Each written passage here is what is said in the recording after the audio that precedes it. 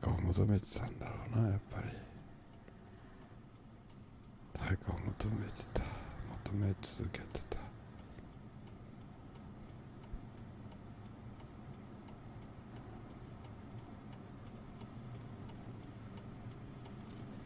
じゃあなんだ？じゃあ一回にしてプラトニックラフ。そうだよな。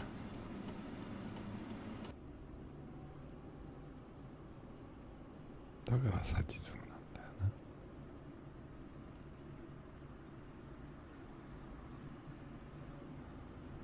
うんあそあの時も憧れたよね。そう全く自分には分からないものがリアリスティックに出てくるなんて感じだったもんな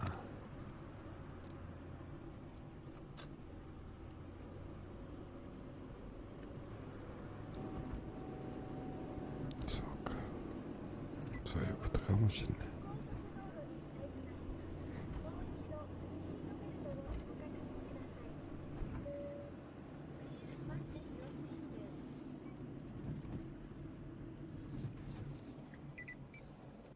どうしたらいいかわかんない。どうしたらいいかわかんない。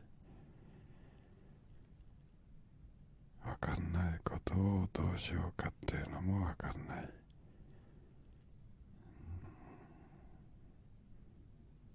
でもそれ続けたんだもんな。それが欲しいということだよな